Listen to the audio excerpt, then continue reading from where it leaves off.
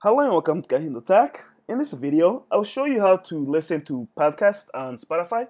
So let's begin. Uh, first, if you already know the name of your podcast that you like to listen to, you can simply just search for it. And to do that, just click on here. Uh, you see in the middle bottom where there's this magnifier? Tap on that and go to search. And then just type in the name of your particular podcast. So, for example, if I want to search for the Brilliant Idiots,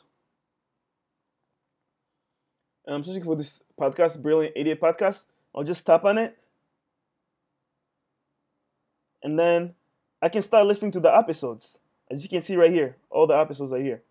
But if you don't know the any particular podcast that you uh, that you like to listen to, and if you, you just wanna browse and discover a new podcast, what you do is tap over. You see on the bottom here, this little symbol right here. That's the browse symbol. Tap on that.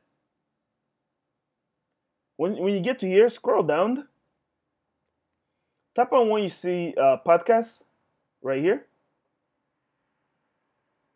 And then it will give you all these uh, different podcasts, such as future podcasts, or they have all these different categories that you can go through top pod- podcast, educational podcast, all kind of stuff. So that's how you listen to podcasts on Spotify.